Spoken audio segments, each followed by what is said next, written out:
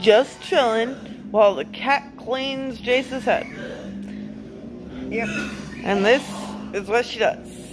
Every time she gets near my hair. Oh, I think she's had enough. Zoe, you have enough eating my hair.